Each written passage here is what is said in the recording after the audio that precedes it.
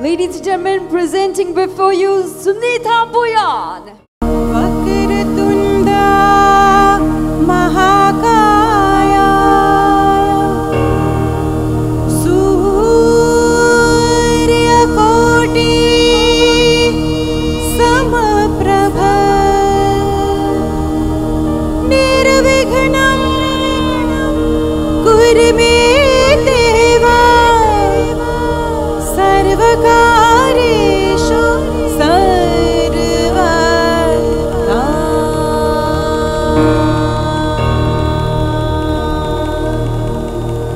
निधा